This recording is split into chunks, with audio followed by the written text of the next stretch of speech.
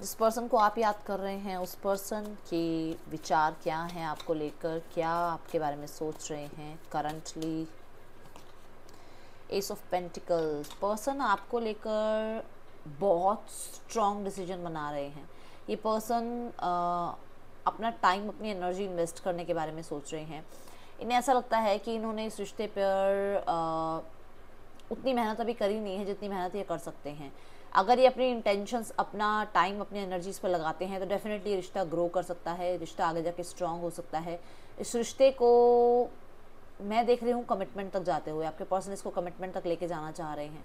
अगर आप लोग ऑलरेडी कमिटेड हैं तो ये रिश्ते को और स्ट्रॉन्ग बनाना चाहते हैं, आपको यूनियन चाहते हैं आपके साथ, आपको दोबारा प्रपोज करना चाहते हैं अगर आप ऑलरेडी कमिटेड हैं ये चाहते हैं आप इनकी लाइफ में हमेशा बने रहें एंड आपके साथ ये पर्सन बहुत स्टेबल फील करते हैं। दैट्स ऑल ज़रूर क्लेम करना।